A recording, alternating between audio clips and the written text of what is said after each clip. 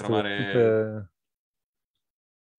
Buonasera a tutti, benvenuti a un nuovo incontro di, cicli, eh, di Libri Nudi. Eh, sono qui con noi Francesco Costa, vice direttore del Post e autore di Una storia americana, e Igor Pagani, eh, responsabile della saggistica di Mondadori. Eh, lascio subito la parola ai due protagonisti che ci racconteranno l'ultimo volume di Francesco Costa, eh, dalle sfide appunto che attendono la nuova presidenza di Joe Biden e la vicepresidenza di Kamala Harris, al lavoro eh, che riguarda un po' appunto il, il dietro le quinte. Eh, io mi silenzio e vi lascio subito la parola e buon incontro a eh, tutti voi. Grazie mille, grazie mille Costanza. presento io Francesco, dico due parole in più di quelle che ha detto Costanza, è vice direttore del Post, è noto a tutti, autore di due libri perché prima di una, di una, storia americana c'è stato il suo esordio fortunatissimo, che è stato Questa è l'America, entrambi, entrambi i volumi sono stati più volte ristampati, è appena uscita l'edizione Oscar di, di Questa è l'America, è una bellissima edizione con dei risguardi con delle bellissime mappe, quindi anche chi ha il primo, alla prima edizione consiglio di acquistare, di acquistare, la seconda. A parte gli scherzi ringrazio lo spazio, lo spazio Formentini a cui, sono, a cui sono personalmente molto legato perché ehm, Giacomo Papi che, che, lo dirige è stato il mio primo, io ho fatto lo stage in una casa editrice che adesso non esiste più dove Giacomo era direttore editoriale, la mia formazione è stata, è stata al master della Fondazione Mondadori eh, sono qui nell'ufficio a Segrate della Mondadori, quindi è un cerchio che in qualche modo si chiude e in realtà eh, a tenerlo aperto c'è, c'è eh, l'opera viva di, di, di, Francesco Costa che oltre ad essere un autore di fortunatissimi libri per, per la saggistica di Mondadori, è vice direttore del Post, ha, insomma, l'inventore o comunque un, un grande un grande interprete del fenomeno dei podcast in Italia, eh, li ha portati davvero a, al successo con le, le, stagioni Da Costa a Costa, quando ha cominciato Francesco eh, non lo faceva quasi nessuno, adesso ovviamente è un fenomeno eh, molto importante, ma Francesco è stato uno, è stato uno degli iniziatori. E da poco, da pochissimo, eh, è cominciata anche una, una eh, rassegna stampa critica di, su, come, come, la definisce lo stesso Francesco, Morning sull'app del Post, lui forse non ve lo avrebbe detto perché non ama farsi pubblicità, lo dico io, una rassegna stampa interessantissima, eh, io stesso leggo molti giornali, mi capita insomma di leggerli fatto molto presto, ma devo dire che ascolto sempre molto volentieri la rassegna di, di Francesco perché c'è sempre un dettaglio, un particolare, un'idea intelligente che che mi è sfuggita. E presen- partiamo con la presentazione, direi, e allora eh, c'è una mia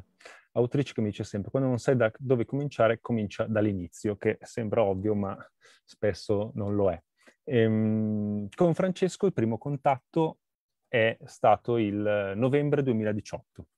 Novembre 2018, eh, non ci conoscevamo, come spesso mi accade, ho scritto una mail all'indirizzo pubblico che aveva a quel tempo e fra l'altro devo dire un, un collega eh, mi aveva segnalato il suo lavoro, Marco Rana, eh, e aveva già provato a contattarlo, Francesco però mi aveva in quell'occasione mi ha ringraziato dicendo sì, mi aveva già contattato un tuo, un tuo collega, e, però avevo già detto di no a lui, dico di no anche a te perché non, io non ho tempo, non, non, saprei cosa dire, non saprei cosa scrivere e, e non ne voglio sapere. E io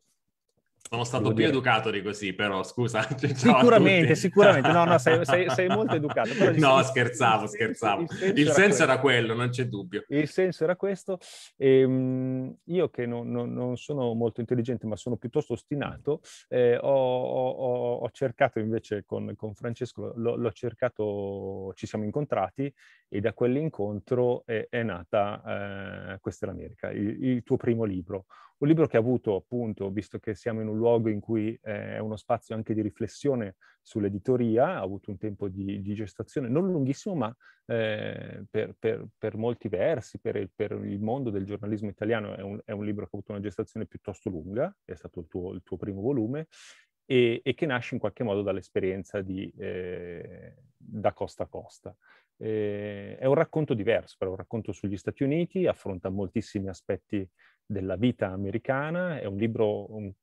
credo che diventerà, e lo dico insomma, un classico, perché è un libro che è davvero senza tempo, lo si legge, l'ho riletto, l'ho riletto in questo, questo fine settimana per prepararmi a questo incontro e devo dire che l'ho trovato ancora, ancora attualissimo. E, ehm, è un libro che, in cui c'è una selezione di storie e io ti volevo chiedere intanto ehm, perché non credevi che, insomma, che, di poter scrivere un libro, perché non, non ci avevi ancora, ancora, pensato, perché non era entrato nel... Tu che fai, insomma, sei un innovatore sotto molti aspetti, perché appunto nel mondo dei podcast e delle, e delle rassegne stampa sei sicuramente un innovatore, perché lì non ti era ancora venuto eh, l'idea o guizzo di farlo. Bella domanda. Dunque, innanzitutto buonasera a tutti, buonasera Igor, buonasera e grazie al laboratorio Formentini che ha organizzato questa chiacchierata. Eh, io avevo parlato, mi era capitato di parlare prima che con te e prima ancora con Marco Rana di, di Mondadori, anche con eh, qualche altra persona di altre case editrici, con l'idea di ti va di parlare della possibilità di fare un tuo libro, perché alla fine con Da Costa a Costa avevo eh, viaggiato tantissimo negli Stati Uniti, avevo raccontato molto l'attualità americana, ma avevo anche raccolto un sacco di materiale che non era eh, legato al racconto dell'attualità, ma più a un approfondimento, che insomma avevo del materiale che non avevo ancora trovato uno spazio, che dovevo, mettere in ordine, che poteva effettivamente, insomma, quantomeno legittimare la discussione. Eh, c'erano due cose che mi frenavano molto. Eh, la terza, che è quella del tempo, poi ho capito essere anche un po' un alibi, ma diciamo che le prime due erano le più importanti. La prima era una sorta di eh, ma vero timore reverenziale nei confronti dell'oggetto libro. Eh, mentre quando provi e sperimenti una cosa nuova o che comunque hanno fatto fin qui in pochi, apro una newsletter sulla politica e la cultura americana non è che ci siano molti eh, termini di paragone con cui confrontarti. Se, se, ci sono, ci sono soprattutto in quel momento erano soprattutto americani e quindi eh, il fatto che la mia newsletter fosse peggiore delle newsletter americane che erano di, di un grande mercato molto più sviluppato del nostro, lo consideravo eh, parte del gioco, ma se tu scrivi un libro, eh, il tuo libro va a finire in, quel, in, una libreria accanto a un sacco di altri libri e io mi chiedevo ma io che cosa ci faccio lì in mezzo accanto a quei nomi, a quei... ma non è falsa modestia, eh, lo vedevo veramente come una cosa che non credo di essere in grado di fare. E, e l'altra cosa, è, è, e questa è quella su cui poi ho capito, insomma, avevo sicuramente molto torto e insomma, tu mi hai aiutato anche a trovare una direzione. Ero convinto, io faccio, ho sempre lavorato quasi sempre in giornali online. Questi progetti che ho fatto sul piano giornalistico, diciamo per conto mio da freelance, sono una newsletter, un podcast, sono degli esperimenti con quelli che all'epoca, era il 2015-2016, erano davvero dei, dei, nuovi media, per quanto vecchi, eh, la newsletter non è certo un formato nuovo, ma il suo utilizzo in questo contesto era sicuramente nuovo. Cosa faccio? Scrivo un libro, un libro di carta, uno di quelli che scrivono, non so, i boomer, dire, diremmo oggi. Eh, eh, nel senso, no, non pensavo che fosse, usando un'espressione terribile, il passo giusto per la mia carriera.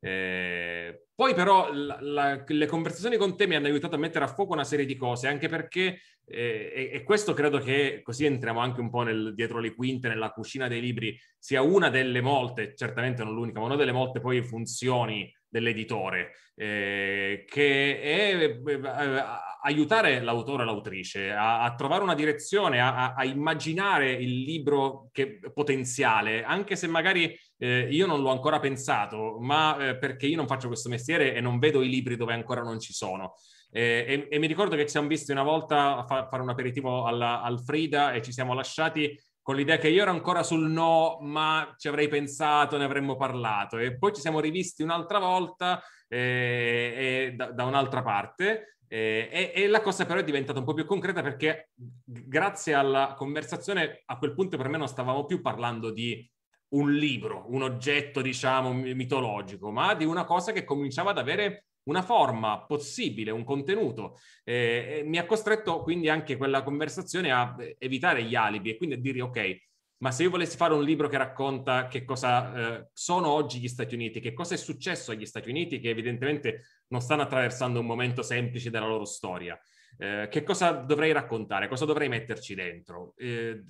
il tutto partendo dalla premessa che questo è un paese che è grande 33 volte l'Italia, che è più grande della Cina, che ha 320 milioni di abitanti, per cui non esiste l'America. Eh, c'è sempre quell'esperienza di chi è stato a New York, torna in Italia e dice eh, sono stato negli Stati Uniti e l'amico furbone gli dice eh ma New York non è l'America. Allora magari vai in California, torni dalla California, eh ma la California non è l'America, però la California cominciano ad essere 40 milioni di persone e a, soltanto a New York vivono più persone che in 40 dei 50 stati americani. Il punto è che l'America è un sacco di cose insieme, un sacco di cose diverse messe insieme, a volte contraddittorie, e, e quindi l'unico modo che ho trovato poi, eh, anche confrontandomi con te, per dare un senso a questo libro era individuare una serie di storie che fossero in qualche modo esemplari di fenomeni, tendenze, cambiamenti, trasformazioni che hanno attraversato il paese negli ultimi vent'anni, trent'anni e lo hanno reso quello che è oggi. E quindi questo libro racconta appunto tante storie diverse che man mano però che si va avanti eh, risultano anche collegate, legate tra loro e scattano una fotografia all'America de- dei nostri giorni, poi l'America del, del 2019-2020, perché appunto poi eh, io avevo tantissimo materiale raccolto durante tanti viaggi che avevo fatto negli Stati Uniti, però poi la fase di cui tu parlavi di gestazione, di eh, capire quali dovevano essere le scatole del libro, cosa metterci dentro, come arrivare con che arco dall'inizio alla fine, è stato un processo che è, è, è, durato un po', insomma, mi ricordo che ci siamo, insomma, ti mandavo un capitolo ogni volta che lo scrivevo, ci confrontavamo, cambiavamo l'ordine, ne aggiungevamo un altro, e, sì, sì, quindi però... è stato un vero lavoro di squadra. Però su questo io vorrei sfatare uno dei grandi miti che ehm, circonda l'editoria, i miti neri, diciamo che ci sono dei miti positivi e dei miti neri, e cioè che gli editori siano grandi, una sorta di grande fratello che sta, sta, dietro le spalle degli autori, li condiziona, li, li, li, li fa scrivere quello che, che, ha in mente l'editore, insomma che ci sia una grande cucina editoriale che in qualche modo sforna eh, sempre lo stesso pasto. Non è assolutamente così, nel senso, nel caso di Francesco, appunto, lo, lo, lo ricordava lui stesso, noi ehm, eh, ci siamo incontrati, io il lavoro più grosso è stato convincerlo delle potenzialità e in questo c'è stata una sorta di operazione di, di maieutica, ma eh, poi il libro, anzi eh, devo dire che la cosa che mi ha stupito da, da, nel, nel, tuo lavoro è stata la maturità e la capacità di elaborare eh, insomma, non c'è stato, vera- c'è stato, veramente poco bisogno di, di lavorare sul, sul, sul, tuo libro e, e, devo dire che questo, questo è una cosa, eh, ovviamente io credo, sono molto convinto che eh, i libri eh, li si, impari, eh, si impari a scriverli scrivendoli, quindi so che è una forma un po' tautologica, ma, ma in realtà è, è, molto così. Quindi al primo libro spesso c'è c'è un maggior bisogno di, di, di intervento dell'editore, di guida, di, di aiuto, perché, perché, appunto giornalisti, ma anche comunicatori, anche chi è abituato per, per, per mestiere a scrivere e, e, a comunicare, magari non è abituato alla forma libro, che è una sua forma uh, specifica, è un mezzo che ha una sua specificità e quindi ha bisogno in questo dell'aiuto dell'editore. E, e invece devo dire che nel tuo caso e, e, non lo dico perché stiamo dialogando, ma eh, lo sai che insomma è una cosa che, che, che, dico spesso, che ripeto spesso, è che il libro ha preso subito una forma e anche le storie erano storie, non abbiamo scartato, devo dire, eh, non, non, ho trovato materiali che non, che non, fossero interessanti nelle cose che mi dicevi, perché c'era, c'era, c'erano le armi, c'era la questione razziale, c'erano tantissime cose che poi sono eh, le questioni di oggi, di ancora oggi, anche se eh, quel libro era stato concepito sotto una presidenza che insomma, veniva vista da molti in modo, da moltissimi in modo negativo, la presidenza Trump, e, e oggi lo leggiamo invece sotto una presidenza di, di, verso cui c'è una grande apertura di credito, anche se, se, se è appena cominciata, cioè la, la, la, la, presidenza Biden. Ma infatti è stato un libro, scusa se ti interrompo, che no, ha avuto no, no. anche una, una, evoluzione, un percorso in termini poi di penetrazione nel pubblico, diciamo così, di vendite eh, eh particolare. Beh, intanto è uscito alla fine di gennaio del 2020, io poi sono subito partito per andare negli Stati Uniti a seguire le primarie sono tornato in Italia che era il 15 febbraio, ho fatto in tempo a fare un paio di presentazioni del libro e poi è successo il patatrack che, che conosciamo. E da parte mia c'era anche una, un, una certa paura e anche potenzialmente un po' una delusione, nel senso che è chiaro che il mondo era investito da problemi molto più grandi del fatto che il mio primo libro fosse uscito durante una pandemia. Però uno, ovviamente, se vi mettete un attimo nei miei panni, scrivi il primo libro della tua vita, speri che vada bene, anche perché poi magari a quel punto speri di farne anche altri, speri che piaccia, speri che sia utile. E quello che succede è che a un certo punto chiudono le librerie, cioè,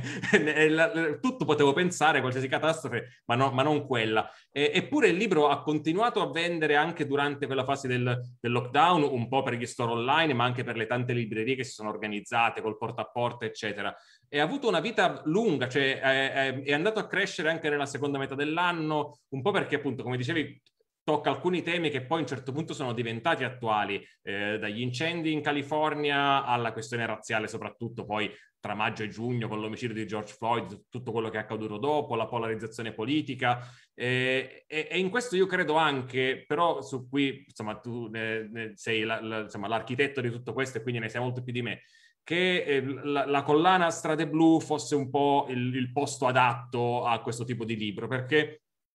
presentandolo in giro, parlandone in giro, eh, poi molte delle persone che, che, hanno letto questo libro, che leggono i miei libri, per fortuna sono giovani. E quando un giovane si approccia a un libro di saggistica, già soltanto la parola, eh, molti pensano di trovarsi in mano un testo per iniziati, per esperti. Non dico un manuale universitario, ma quasi. Eh, e perché ci sono dei libri di saggistica che sono così e sono utili ed è il caso che siano così, però ecco, ehm, il mio tentativo era usando le storie di eh, utilizzare, non dico le tecniche diciamo della narrativa, però una, ehm, non dare niente per scontato, che è una cosa che facciamo molto al posto, utilizzare molto il racconto letterario di una vicenda, di una famiglia, di un'azienda, di una città, per poi allargare lo sguardo e andare oltre e quindi sì, conoscere più il paese, conoscere un pezzo di mondo attraverso però delle storie raccontate in un modo che fosse efficace sul piano narrativo. Eh, e questo non è una cosa che si può fare da lettore in tutte le collane della saggistica. Eh, certo non si può fare soltanto in Strade Blu, però Strade Blu no, era no, proprio sì, il posto no, suo. non siamo gli unici,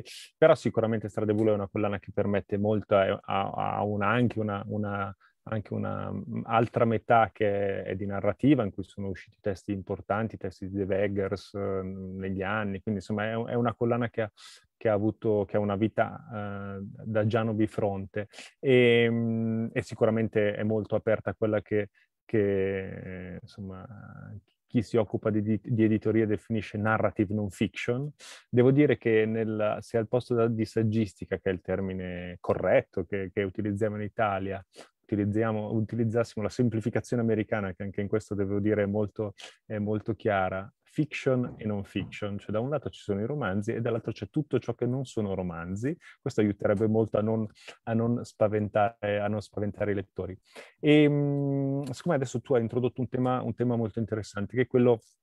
del non dare nulla per scontato, che è una cosa che fate anche molto, che è, direi è la linea del post, le cose spiegate bene, per parlare di un, di un, fortunato, di un fortunato, libro che è appena uscito eh, in, in, collaborazione, se, correggimi se non sbaglio, se sbaglio, tra il post e Iperborea. Corretto e che è un, insomma un, cose spiegate bene, giusto? E, esatto, in questo caso esatto. si parla proprio di libri, quindi chi, chi sta ascoltando questa, questa, conversazione in cui parliamo di, di, un po' del dietro le quinte dei libri di Francesco, sicuramente uh, insomma, è un libro uh, che apprezzerà sicuramente. E, e tu uh, fai questa distinzione che secondo me è importante, eh, dire le cose in modo molto chiaro, che è una, è una componente molto forte nel post ma eh, non è una componente così forte forse nell'essere giornalista, perché almeno tradizionalmente, lo dico da osservatore, ma insomma come osservatore con una certa,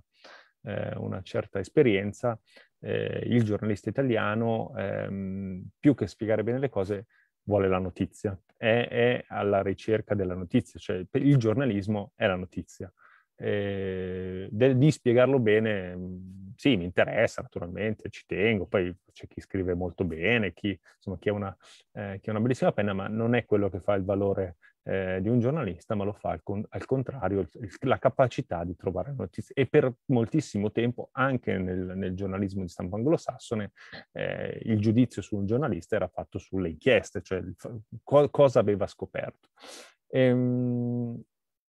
io credo che nei tuoi libri questa, questa cosa si veda molto rispetto, rispetto ad altri che, che, hanno un altro tipo di formazione e volevo capire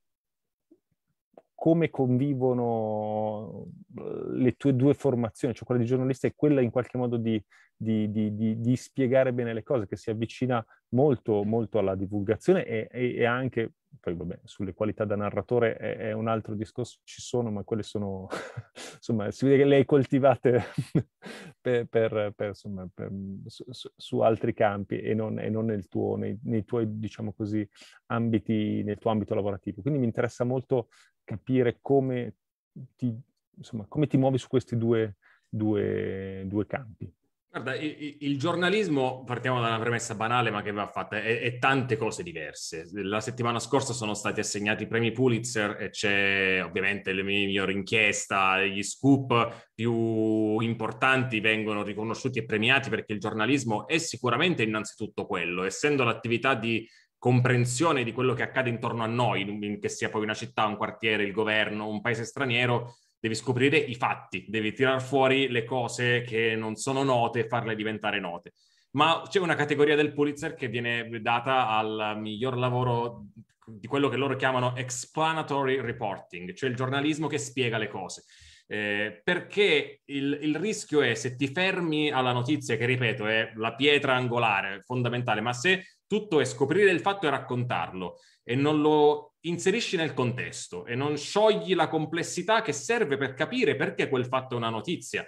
quando poi spesso quel fatto riguarda un'azienda, delle, delle dinamiche aziendali oppure la politica estera di un paese che, che, conosciamo poco, se non spieghi il più possibile tutto quello che sta attorno e quindi le implicazioni di quel fatto, a chi legge eh, eh resta una, un'impressione di non aver davvero afferrato l'importanza di quella storia. Eh, c'è un'altra cosa che succede nel, nel, giornalismo è che la tendenza a dare per scontato che eh, i lettori, le, le, lettrici conoscano tutte le puntate precedenti di una storia. Viene fuori una notizia, un arresto importante, una, un colpo di scena, ma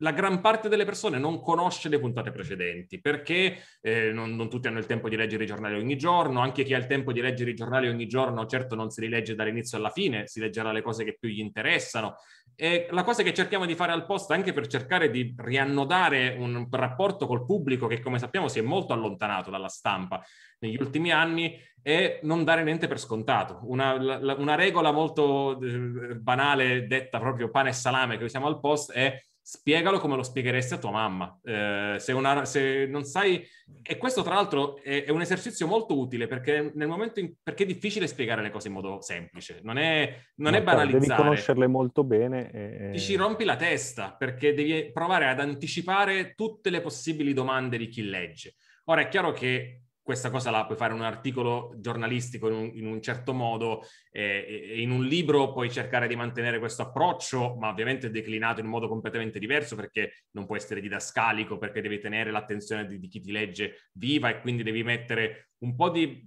qualità in più nella scrittura. Eh, eh, scrivere uh, le cose che scrivo che poi vanno a finire nel libro. Scrivere un libro è la, l'attività di scrittura più lenta che io faccio eh, in assoluto, nel senso che mi rendo conto che ogni parola non può essere la, la, prima che mi viene in mente e a volte in un articolo va bene, se, se è quella giusta, se c'entra il punto va bene. Nel libro devi cercare di essere sul piano della scrittura qualitativamente più eh, pensato eh, e poi devi cercare di dare le informazioni a chi ti legge in, non come adesso ti faccio lo spiegone, eh, ma in un modo che sia coerente col, col, procedere della storia, col procedere di quello che stai, che stai raccontando. Ed è, ed è insomma, non è, non è, semplicissimo, appunto, è una cosa che poi richiede del tempo, però la risposta che ho avuto, ed era totalmente, diciamo appunto, un, un salto nel buio, al di là dei feedback vostri, poi come l'avrebbe accolto il pubblico, la risposta che ho avuto è stata molto buona, eh, soprattutto da parte di un pubblico che mh, anche un po' stereotipicamente, stereotipi,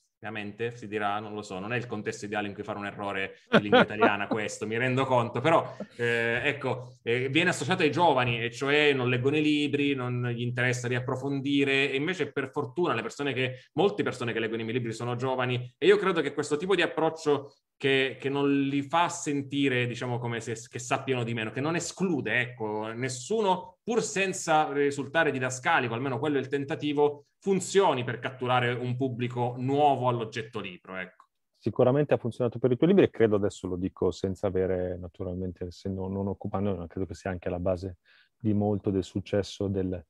del Post, che è sicuramente un,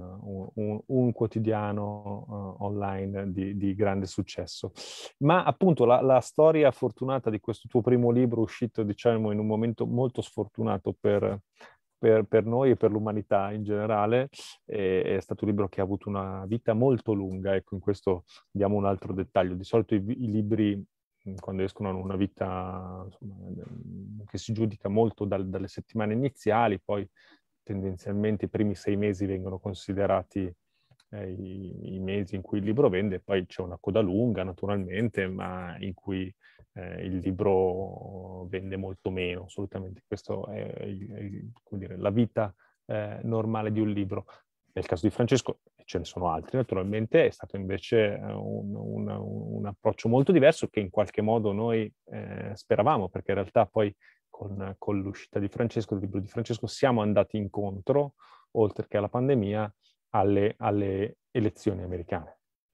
E elezioni che sono state a novembre, che hanno visto la vittoria di Joe Biden e, del, e della sua vice eh, Kamala Harris. E qui arriviamo eh, al secondo libro di Francesco, eh, che è uscito a gennaio di quest'anno, quindi esattamente, esattamente un anno dopo, e, e, lo vedete qui alle mie spalle. Una... Campeggia, campeggia. L'hai messo una... a posto perché dobbiamo fare questa Una storia, no, ne ho molti, poi cadono, poi io sono molto disordinato, quindi non, non, vi faccio vedere, diciamo che ho cercato di pulire la mia scrivania per l'occasione, ma non so se ci sono riuscito.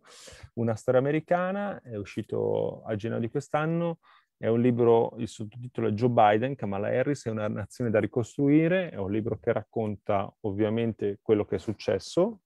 eh, alle elezioni americane, ma non solo, eh, racconta eh, l'America del futuro, l'America, quello che ci dobbiamo aspettare. E, e, devo dire che mi è venuto in mente, invece, no, senza, senza, riguardare il tuo libro, ma mi è venuto in mente quello che avevi scritto quando c'è stato molto stupore intorno, e qui passiamo invece un pochino all'attualità, eh, quando Kamala Harris è stata molto criticata per la sua uscita sui migranti e sul fatto, insomma, sulle sue dichiarazioni, adesso poi qui Francesco correggimi perché vado proprio a memoria, sul fatto che non dovessero, i, i, i migranti non dovevano tentare di attraversare il confine degli Stati Uniti perché questo non sarebbe stato loro permesso e quindi dovevano, dovevano rimanere nei, nei, nei, paesi di provenienza. Eh, c'è stata molta critica perché ovviamente sono state fatte immediatamente delle similitudini con quello che succede eh, qui da noi, nel Mediterraneo, tristemente, eh, però io devo dire non mi sono, non mi sono affatto stupito perché eh, questa dichiarazione, come molte altre, per capire quello che succede oggi, l'apertura di Biden al G7, il tentativo atlantico, eh, sono nel tuo libro. Eh, tutto, cioè non tutto perché non sei una, una veggente, ma molto di quello che accade lo possiamo capire. Eh, io, avendo letto la storia di Kamala nel, nel tuo libro, eh, ho capito perché lei ha detto queste cose, perché è stata procuratrice e questo devo dire mi ha, mi ha, aiutato molto e volevo capire se questa, questa lente funziona per te, di, di, di, insomma, di avere una, un, una chiave di lettura sul futuro. Ma sai, secondo me poi lo, quanto reggerà lo, lo, vedremo. Questo non è un libro che ovviamente prova, come dicevi, a prevedere il futuro. Li, la mia, l'idea da cui sono partito è queste due persone per le vite che hanno avuto e per le carriere che hanno avuto, eh, hanno, incarnano in un certo senso dei, dei pezzi della storia americana, dei, dei, fenomeni che hanno coinvolto tutto il paese, a volte li hanno toccati direttamente, a volte sono stati loro a contribuire a innescarli, penso al caso di Joe Biden soprattutto, che poi tra i due è quello con la carriera più, più lunga, e quindi non solo raccontando alcuni episodi delle loro vite, perché non è una biografia, io ho scelto alcuni momenti delle loro vite, poteva essere utile conoscere, potevano, poteva essere facile conoscerli meglio, al di là dei programmi elettorali, ma capire chi sono queste persone, quali errori hanno fatto in passato, quando sono sotto pressione che cosa, cosa tendono a, a fare, qual è il modo in cui hanno affrontato problemi simili a quelli di oggi in passato ma anche conoscere meglio l'America. In, in, molti casi il racconto di un episodio che ha coinvolto Joe Biden o Kamala Harris è un modo per allargare lo sguardo e parlare eh, di come il razzismo ha modificato la forma delle città americane al punto che da creare il traffico che vediamo nelle città americane, il sistema sanitario, eh, l'aumento della criminalità tra gli anni 70 e gli anni 90 in una certa parte ancora inspiegabile. E tutto questo provare a metterlo insieme per provare a capire il futuro. E per esempio, il Kamala Harris ha una vita e una carriera che sono fatte di, di, molte contraddizioni, di un tentativo di costante equilibrismo nel dover gestire le molte aspettative che ha sempre avuto su di sé, non fosse altro che quasi qualsiasi incarico che ha fatto lo ha fatto come prima donna e prima donna non bianca e le sue idee politiche, la sua carriera da procuratrice, il desiderio di cambiare le cose dall'interno e quindi di non essere espulsa da un sistema che comunque la considerava e la considera tuttora un corpo estraneo. Ed è vero che questo aiuta a vedere le dichiarazioni di, che ha fatto sui migranti, al di là del fatto di essere d'accordo o no, eh, ma aiuta a capire da dove vengono. Eh, ma anche nel caso di Biden avrei visto anche sui giornali, anche sui giornali italiani, tra l'altro, tutto questo discorso sul fatto che Biden abbiamo scoperto essere più di sinistra di quello che pensavamo. Eh, ho letto anche degli articoli che dicevano persino Enrico Letta, il nuovo segretario del PD, che ha fatto qualche proposta un po' la tasta di successione, eccetera, si è ispirato a questo nuovo corso radicale di Biden. Eh, ulti- una delle ultime cose che scrivo nel libro, nelle ultime pagine del libro, eh, ma di nuovo non perché abbia dei poteri divinatori, ma perché si vedeva, stava già succedendo, non solo il Partito Democratico si sta spostando a sinistra e quindi era eh, plausibile, ma molti presidenti americani che hanno fatto delle cose radicali non erano dei radicali, ma erano, e cito alcuni esempi, da Roosevelt a Lyndon Johnson, erano dei pragmatici, anche con la fama di essere dei moderati dell'establishment, arrivati però al potere in un momento straordinario, eh, come è questo evidentemente, avevano capito che servivano azioni straordinarie. E io non dico nel libro Biden farà così, ma dico nell'ultima fase della campagna elettorale Biden ha fatto più cose che lasciano pensare che quello sia il modello di presidente a cui vorrà ispirarsi. E poi Biden diventa presidente, fa questa mega legge di spesa sui 1900 miliardi di dollari, adesso ne propone 6 mila miliardi, eh, non è che è diventato improvvisamente un grande rivoluzionario socialista, però non è sicuramente il moderato, centrista, immobile che alcuni descrivevano durante la campagna elettorale. Il tentativo è provare a capire che cosa succederà, appunto, non leggendo i programmi elettorali, ma scavando nel carattere delle persone il, modo in cui ho provato a farlo è stato facendo una montagna di ricerca, anche perché poi questo è un libro che è nato eh, durante la pandemia, no? E quindi anche in un momento in cui spostarsi era praticamente impossibile non ci si poteva spostare tu hai utilizzato benissimo il tempo scrivendo, scrivendo il tuo secondo libro. E, invece di fare il pane, dici, e friggere. E invece di fare il pane, che è un'attività, insomma, i panettieri andavano aiutati e soprattutto erano tra le poche attività aperte, quindi perché non comprare, non comprare il pane? E, um, Joe Biden e Kamala Harris sono appunto due figure emblematiche di, del, dell'oggi statunitense, anche se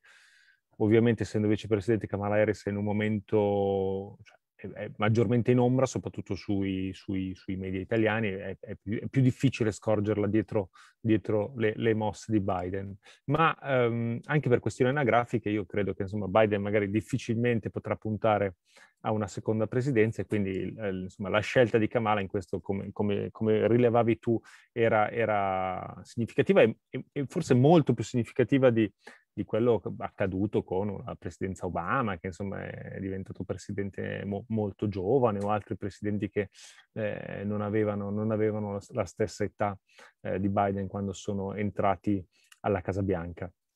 E, mh, Vogliamo raccontare qualcosa dei tempi? Perché prima lo ho alluso e in realtà secondo me questa, perché questa è una domanda che mi fanno sempre nelle presentazioni. Va bene, va bene, allora parliamo dei tempi, parliamo dei tempi. No, questo è un contesto... Scusami se... Per, no, no, no, no, no, io usciamo dal... Di... Perché a me interessa sempre la politica americana, quindi cerco sempre di sfruttarti per, per, avere delle previsioni, ma... ma no, perché quando l'hai scritto, me lo chiedono sempre, ma quando l'hai scritto? Ma sapevi che avrebbero vinto? E se non vincevano che avresti fatto? Buttavi il libro, ne scrivevi un altro? Eh, ne abbiamo scritti due, questa è la verità, uno per Trump e uno per Biden. Allora, intanto posso dire che eh, è capitato eh, che, che, uscissero dei libri e, e, altri venissero fermati in, in stampa perché la, la, previsione, che, e questo lo dico eh, per Mondadori, ma, ma, è successo anche anche ad altre case editrici, anche a colleghi di altre case editrici, che si facessero libri su previsioni sbagliate. Cioè, questo, questo poteva, poteva, poteva essere, su, potrebbe essere successo e non ci sarebbe nulla di male. Il libro solitamente esce, incontra meno fortuna di quella che eh, l'editore e l'autore eh, avrebbero sperato naturalmente, e, e però non, non, succede nulla. Eh, il caso di Francesco invece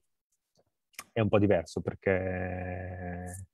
eh, ovviamente noi eh, dopo quei primi incontri così rarefatti non ci siamo più incontrati in realtà dal vivo, però eh, abbiamo fatto fra l'altro una, una, prima presentazione così online come questa e, e, e spero che questa ancora online sia l'ultima a chiudere eh, il, il, periodo de, dell'online e spero che potremo tornare tutti come, come Francesco fra l'altro ha già fatto e, e, controllate le date sul suo sito, eh, ha già fatto eh, dal vivo, ma in realtà questo non è il caso perché noi ci siamo sentiti durante, durante tutta la pandemia, non ci, siamo, non ci siamo riusciti a vedere, ma ci sentivamo abbastanza spesso perché, perché questa l'America stava andando molto bene e, e perché stavamo ragionando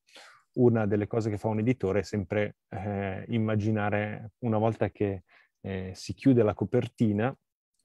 che è questa, vi faccio vedere una bozza che avevo in ufficio, ancora ho recuperato, questa è una, è una bozza di come si chiama digitale ed è quello che di solito io firmo per mandare in stampa, qui c'era un sottotitolo diverso, era Joe Biden e Kamala Harris, l'ambizione del cambiamento, che poi abbiamo, abbiamo si lavora sui libri fino all'ultimo, quindi questo, questo, sottotitolo l'abbiamo cambiato, l'abbiamo cambiato poco, poche ore prima di andare in stampa.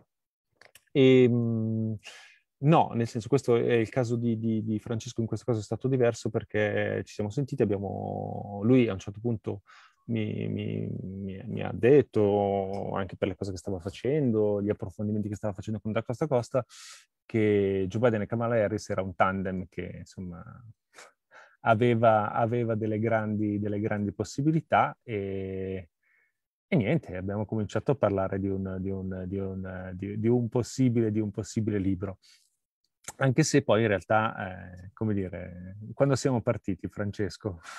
Eh, io durante l'estate, come appunto, come raccontavi, come dicevo prima, ho, cominciato a pensare che questa cosa poteva essere un libro, che questa storia, che questi due eh, effettivamente potevano essere anche un modo per raccontare qualche altro pezzo eh, degli Stati Uniti. E, è, è, chiaro che però l'interesse verso questi due è, è, un, è un tot se questi due diventano presidente e vicepresidente se non lo diventano, io magari eh, può essere comunque utile parlare di come sta cambiando l'America, ma insomma, perché devo capire chi è Biden che ha appena concluso la sua carriera con una umiliante sconfitta da Trump?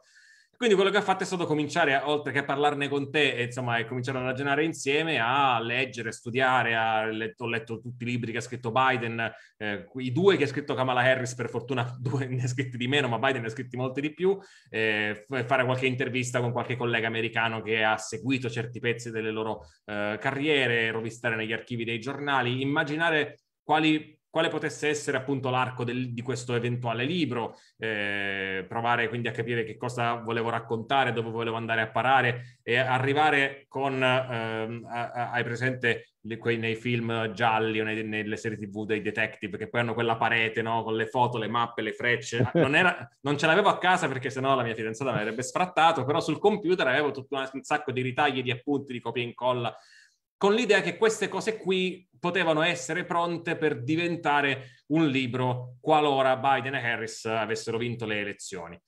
Eh, sapendo anche, forse non so se in cuor mio dicevo, vabbè, se, se perdono, eh, amen vuol dire che non scrive il libro. Eh, in realtà poi Biden e Harris vincono le elezioni e, e, noi a quel punto ci cominciamo a sentire un po' freneticamente per capire che questa cosa, se, se bisognava farla, bisognava farla subito. Eh, decidiamo di farla, io ricordo la, la, vol- la, conversazione in cui abbiamo deciso di farla davvero, eravamo a- al telefono io, tu e, e Chiara Melloni dell'agenzia Sose Pistoia che, che, che la, la, mia gente, mi fa un certo effetto dire che la mia gente, ma in realtà è un'amica e mi dà una, una grossa mano. E l'abbiamo fatto di fatto questo libro senza esserci mai incontrati di persona, ma soltanto in videochiamate, telefonate, mail. E, e, a quel punto mi sono messo a scrivere, mi sono messo in ferie dal post per un mese, tanto le ferie estive quasi non le avevo fatte, non è che c'erano diciamo, grandi posti in cui andare, mi sono messo in ferie e non ho fatto altro, perché tra l'altro in zona rossa non si poteva uscire, non si poteva fare nulla, dovevo stare a casa e quindi non ho fatto altro a parte dormire e mangiare che scrivere questo libro che ho consegnato il 23 eh, dicembre, se non sbaglio, fi-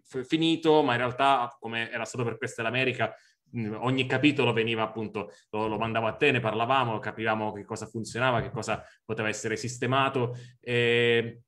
e quindi devo dire, io ho avuto anche a un certo punto, te lo ricorderai, il, il timore che per quanto io su questo libro alla fine ci avessi lavorato poi molto nella parte di ricerca, praticamente quasi per sei mesi, che apparisse come un instant book e quindi dopo il successo di questa l'America si è inventato... Francesco, come si dice, svacca e sì, ci dà un vuole fare cash pagine. Esatto, poi si inventa una roba, eccetera. E, e, e in questo, insomma, il, il, parlarne insieme è stato utile anche per, poi alla fine lo volevo fare, l'ho fatto, l'avrei fatto in ogni caso, nel senso che se ne frega che venga percepito come un instant book, però ecco, eh, anche l'interfacciarli con un editore aiuta su questo fronte. Sul numero di, di battute a un certo punto dicevo, eh, Francesco, però insomma, ho capito che eh, il numero di battute è esattamente, insomma, quasi, adesso non mi ricordo qual, quale sia la differenza, ma insomma il, il libro è venuto di, di 200 pagine, perché poi noi editori ragioniamo sempre prima in battute e poi, e poi in cartelle, ma è un, un vizio, sì, insomma, è quasi poco, mai guardiamo... Poco più breve di questa è l'America. Quasi mai guardiamo poi le, le pagine del, del, libro stampato, è venuto un libro molto lungo e, e, e, molto complesso e molto stratificato per tutto il lavoro che c'era dietro, che ovviamente poi non è solo il lavoro né di quel mese di scrittura, né di sei mesi di ricerca, ma è il lavoro di Francesco su, sugli Stati Uniti che sta portando avanti eh, da molti anni. E devo dire che però, appunto, visto che, che stiamo raccontando i tempi, eh, c'è stata anche una, una, forzatura. Ecco, io questa cosa che hai svelato ah, adesso vero. mi porterà, tutti mi chiameranno dicendo, ah, allora eh, dobbiamo fare il libro anche ti do il libro eh, oggi e usciamo fra tre settimane. Ecco, no, abitualmente questo lo dico sempre perché cioè, immagino che ci sia un pubblico anche di, anzi ci sono del, degli studenti del, del, del, master, eh, un libro tendenzialmente, almeno qui in Mondadori, dal, dalla chiusura del PDF che già prevede eh, due mesi di redazione prima, la redazione, la nostra redazione che fa spesso miracoli salti mortali ci chiede il libro due mesi prima del, della chiusura del PDF e da quando si chiude il PDF ci sono cinque settimane prima di arrivare nei, nelle librerie che è il tempo della stampa e della distribuzione. Ovviamente è un tempo che comprimibile per, per, per molti molti aspetti. Eh, nel caso di Francesco è stato davvero fatto un miracolo da parte della redazione che ha lavorato eh, non solo durante le feste, ma abbiamo lavorato tutti durante le feste, Francesco in primis, ma anche eh, molti nostri valenti collaboratori e, e, e, la redazione e l'ufficio grafico, abbiamo tutti lavorato moltissimo perché poi in realtà eh, abbiamo anche deciso eh, non contenti del, del, del, dell'averlo fatto in, um, insomma, di, di, averlo messo in macchina molto velocemente, abbiamo deciso di uscire anche il giorno, il giorno del, dell'insediamento, quella settimana, adesso non, non ricordo. Il prima, il 19. Il 19 non ricordo quando fosse, Mondadori esce nelle librerie tutti i martedì, quindi era costretta a uscire il martedì, il martedì 19, il giorno prima dell'insediamento, che è stata poi in realtà una scelta eh, molto giusta eh, e qui devo dire mi hanno dato una mano eh, i colleghi della, della, della, insomma, dell'ufficio stampa, della comunicazione, mi hanno detto, beh, non possiamo mancare questo appuntamento. Io dicevo, ma non abbiamo tempo, il tempo è già il minimo, cioè dovevamo uscire, credo, intorno, adesso ho qui davanti a me un calendario, eh, il 9, insomma, intorno alla metà di febbraio, e, e, e però mi ricordo che quando l'ho detto, ho annunciato il tuo libro ai colleghi della comunicazione, eh, non è possibile. Se ti perdi quell'occasione sei, sei veramente un... l'ultimo dei, dei, dei, di quelli che si dovrebbero occupare di editoria, diciamo così. E um, in realtà poi è stata una scelta giusta perché il libro ha avuto oh, un eco molto importante in quei giorni e, e Francesco è stato invitato ovunque eh, per le sue competenze a parlare del libro, ma anche perché aveva a parlare delle elezioni, scusate, ma anche a parlare in quel caso eh, si avere il libro, avere il libro con aiuta, sé certo. aiuta e il libro ha avuto una, un straordinario successo la prima settimana di uscita, ha venduto, lo dico perché sono numeri ufficiali certificati, più di 8.000 copie nella prima settimana, che è veramente un risultato eh, incredibile e straordinario. E ha poi proseguito, ha una vita, sta avendo una vita eh, molto fortunata, perché appunto è un libro che non si concentra solo sulle lezioni, ma racconta molto chi sono sicuramente una delle persone insieme a Xi Jinping e, forse a Putin e alla cancelliera Merkel più importanti che prendono le decisioni più importanti del mondo e una persona che sta a fianco a Biden e che insomma potrebbe essere chiamato in futuro a, a sostituirlo. Io, se sei d'accordo Francesco, magari, visto che sono un quarto alle otto, aprirei eh, certo. lo spazio alle domande, che insomma avevamo, ci sono collegati degli studenti del master che eh, penso ci vogliono fare delle domande, spero siano per Francesco, ma nel caso siano, siano per me risponderemo molto volentieri. Sì, allora parto io con una domanda un po' per tutti e due. E una, la prima delle nostre curiosità era eh, su, appunto, sul lavoro di ricerca e se mh, mm, appunto l'intenso lavoro di ricerca per questo tipo, cioè per questo libro nello specifico, ma in generale anche per questo tipo di inchieste, è in carico solamente all'autore o se comunque c'è un supporto dalla casa editrice o dall'editor. Vuoi andare tu? Vado io? No, io allora, il, il, il, grosso della ricerca, almeno in questo caso, poi Igor sicuramente saprà dire in, in generale, in questo caso eh, lo, l'ho fatto io anche perché poi era una ricerca giornalistica che io ho fatto anche per, appunto, nel caso del primo libro, per da costa a costa, viaggiando io direttamente negli Stati Uniti, o per questa eh, campagna elettorale, per le altre cose che facevo, per il post. Eh, lì la cosa in cui è, è, è molto utile eh, il, il ruolo dell'editore è che ti sa indicare i, i punti bui di, di, di un testo eh, anche sul piano delle informazioni, dei, dei documenti, ehm, eh, quelli che tu non vedi più una volta che, che lo hai scritto, eh, dove serve, io, io dico che sta accadendo una cosa negli Stati Uniti, ma magari serve indicare un dato, una fonte, una, uh, un, un, appoggio al di là della, della bibliografia, ma ancorare le, le, affermazioni fattuali a qualcosa di più preciso ed è una cosa che poi ti costringe, allora aspetta, vado a cercare i dati, andiamo a vedere se effettivamente cominciò in quell'anno o il decennio prima. Eh, in, in, questo per me è stato, è stato molto utile il ruolo eh, dell'editore, ma il grosso della ricerca in questo caso l'avevo fatto io. Sì, senza dubbio. No, il ruolo dell'editore in questo non non, non fa nulla, cioè il, il, contenuto per me deve essere eh, portato dall'autore, anche perché eh, qui eh, lavorano come altre due persone alla saggistica, ma nessuno di noi è esperto in, in un campo particolare, quindi Fra Francesco ha portato il suo bagaglio eh, di notizie, di esperienze, di, di, cose che sapeva, di cose che aveva scritto e, e il, il, lavoro nostro, poi appunto un lavoro di controllo, di redazione, di, di se, se, pensiamo a, più al mio lavoro di, di, di dialogo con l'autore sul, sul, sul montaggio, eh, sui temi, ma non, non, certo sul lavoro di ricerca, quello, quello è in capo totalmente all'autore, per fortuna, che lo fa, lo, fa, lo, fa, lo fa molto meglio di quanto avremmo potuto fare noi. Grazie. E proseguo io. Anzitutto ci tenevo a dire che mi fa molto piacere essere qui a dialogare con voi, quindi grazie. Eh, anche la mia domanda è un po' per entrambi, diciamo, prima più per l'autore e la seconda parte un po' più per l'editor. Eh, ci interessava sapere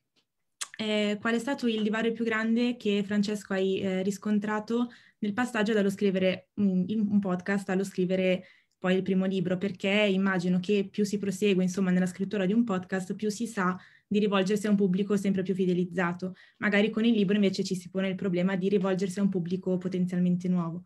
E, ehm, e, poi quali sono le principali differenze a livello di editing, perché è una cosa che diciamo anche spesso eh, nei nostri vari corsi è l'importanza che il podcast assume sempre di più nel mondo editoriale e anche appunto l'editing a livello di podcast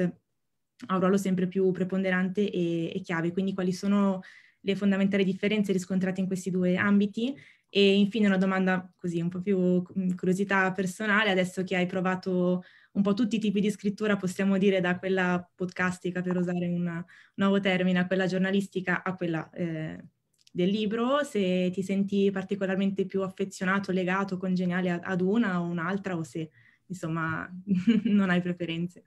Allora, eh, differenze ce ne sono tantissime. Eh, sai, secondo me non è, non è, scusa se ti do del tu, ma diamoci del tu anche nelle domande e risposte, insomma, con grande tranquillità. Eh, non è, secondo me, tanto, almeno per la mia esperienza, nel tipo di pubblico, nel senso che anche quando uh, scrivo, eh, scrivevo gli episodi di Da Costa a Costa, io sapevo che Da Costa a Costa aveva un pubblico, insomma, affezionato, eccetera, ma non era nemmeno un pubblico così grande che dicessi ho già raggiunto tutte le persone che posso raggiungere e cercavo sempre di mettermi nei panni di qualcuno che si imbatteva in quell'episodio per la prima volta e non volevo che si sentisse appunto escluso, è entrato in un mondo di cui non conosci il linguaggio se non parti dall'inizio. Eh, lì la cosa che, che, ho, che, ho, avvertito di più è proprio una differenza di, di, scrittura e questo secondo me poi si attaccherà forse a quello che, che, potrà raccontarti Igor. La scrittura di un testo che sarà ascoltato è molto diversa dalla scrittura di un testo che sarà letto. Eh, e io me ne sono accorto insomma, un po' facendolo, ma un po' quando sono andato in sala di registrazione a registrare l'audiolibro del mio primo libro, Questa è l'America e, e mi sono reso conto che alcune cose che sulla pagina scritta funzionano, non so, gli incisi, eh, il fatto che tu possa posizionare, eh,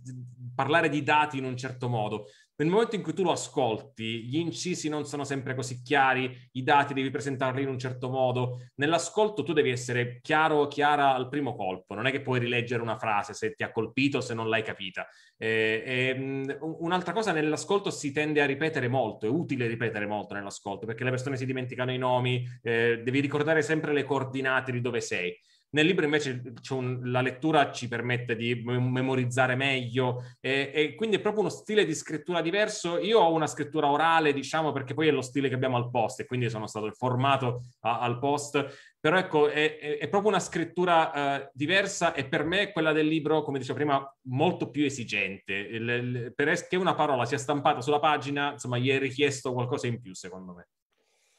Eh, sì, io ti, ti, rispondo, diciamo che non conosco l'editing che si fa sui... Ho visto dei, dei, dei test di podcast scritti, non, non, non, non, di Francesco, perché poi con lui non abbiamo mai lavorato a, a libri tratti da, da, podcast, ma mi è successo di vedere, di vedere, dei testi. E devo dire che la differenza è, è sensibile, nel senso che c'è, c'è una c'è un'immediatezza, anche in testi molto scritti, per, cioè in testi completamente scritti per i podcast, devo dire che poi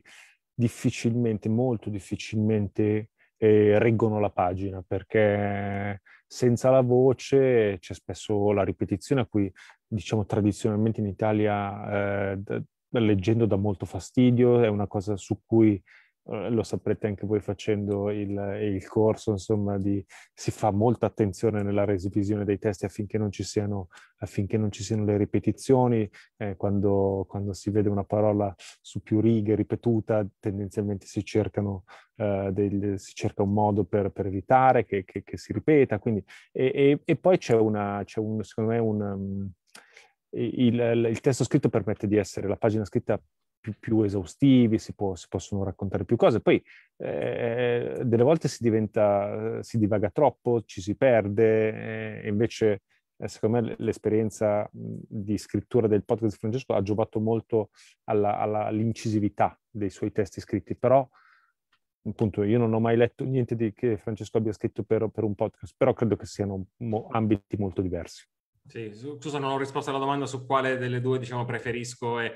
eh, il, il, podcast mi viene più naturale, eh, ma perché è una scrittura più facile, secondo me. Mm, eh, mentre invece la scrittura del libro è molto più impegnativa e che quindi la faccio con più fatica, poi non vuol dire che non mi piaccia, eh, però ecco, il, il, la scrittura dei podcast è una scrittura più semplice, almeno per me. Grazie. Grazie a te. C'è forse, grazie, grazie mille. Ciao Marco, aspettiamo la, la tua domanda.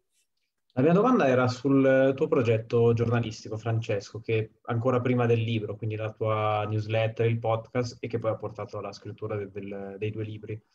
Eh, il tuo di fatto è un progetto individuale, cioè a parte il tuo lavoro al post, eh, tuo, la newsletter e il podcast è, sei tu che fai quel lavoro. E mi sembra una tendenza eh, che sta prendendo piede negli ultimi anni, soprattutto nel giornalismo anglosassone, cioè del giornalista che non per forza giovane, però magari dalla redazione del Washington Post e New York Times prende, si fa il suo progetto, la sua newsletter, eccetera. Eh, in Italia mi sembra che ancora non è così, però forse pian piano sta prendendo piede. Io ho in mente pochissimi nomi, mi viene in mente Francesco Maselli sulla Francia, oppure ma anche Mario Calabresi. Credi che sia una, una strada percorribile, cioè credi che sarà una tendenza sempre più diffusa eh, e anche più rilevante nel, nel panorama giornalistico italiano? Io credo che, che piaccia o no, eh, sarà una tendenza sempre più diffusa. Poi non credo che raggiungerà le dimensioni del fenomeno americano, perché lì c'è proprio un mercato editoriale giornalistico molto più ampio. Ci sono molte più persone che, che comprano, che pagano abbonamenti a newsletter. Per loro è molto più facile spendere soldi, no? per, non per dire una banalità sugli americani, ma gli americani, come sapete, spendono. Eh, ci sono newsletter americane di persone che, eh, che, nessuno in Italia ha mai sentito, che hanno 100.000 abbonati, che pagano 5 euro al, al mese, fatevi due conti, diciamo, e, e, e quindi quelle persone lì sono in grado di guadagnare molti più soldi di quanto possa dargli anche il New York Times. Eh, e, e, molti, in un momento in cui tra l'altro le aziende editoriali sono in difficoltà e quindi a volte licenziano, anzi spesso licenziano, eh, capiscono che se riescono a trovarsi un pubblico di 2000 persone che paga 5 dollari al mese e comincia a mettere insieme dei soldi che magari ti permettono anche di prenderti una persona che ti dia una mano, un editor per esempio che ti riveda le newsletter o i podcast o quello che tu stai facendo.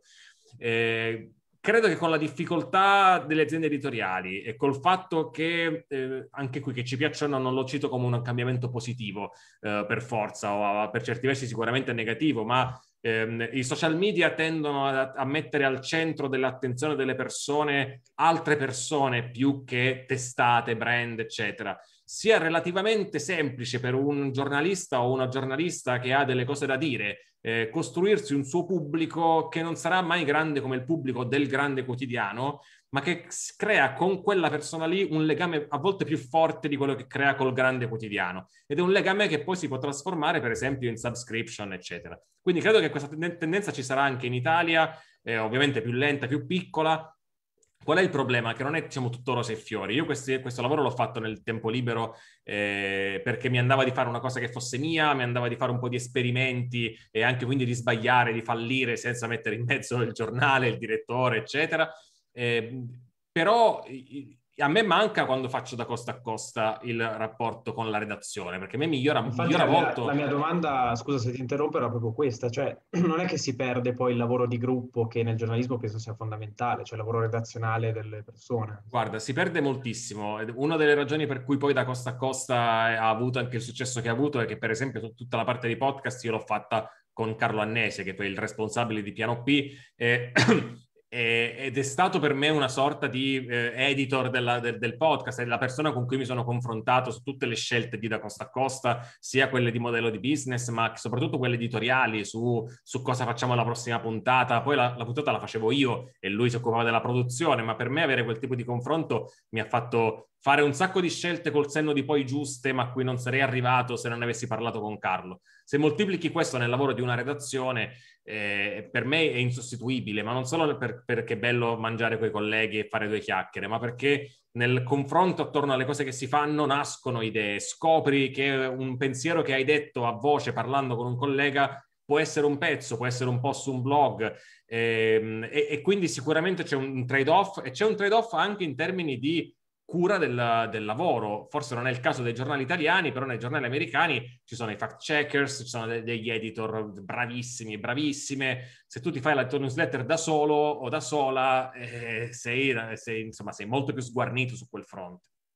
Diciamo che forse, scusa, poi concludo, eh, magari io penso a quei pochissimi giornalisti, tra cui te che conosco in Italia, che fanno questo, hanno a parte il lavoro tu al post, citavo Maselli che comunque lavora al foglio, quindi hanno anche cioè, l'esperienza di gruppo della, della redazione, quindi magari forse il problema si porrà di più quando sarà il giornalista, la persona singola che decide di buttarsi in un progetto singolo da solo nella cameretta, in quel caso magari insomma si perderà un po' di, di, lavoro giornalistico sul campo, ma soprattutto poi di comunità. Diciamo. Guarda, secondo me, e che chiudo anch'io così poi lasciamo la parola alle altre domande se ci sono, eh, questo può essere un'ottima strada per chi vuole entrare nel mondo del giornalismo, che è un mondo in cui l'accesso è oggi super problematico. E è inutile sperare di farsi notare mandando un curriculum via mail, purtroppo. Eh, il modo migliore per farsi notare è farsi notare col proprio lavoro. E quindi se tu hai fatto un canale YouTube sulle criptovalute, eh, una newsletter sulla politica del Medio Oriente, su, cioè se tu sei riuscito a prendere un tema interessante e rilevante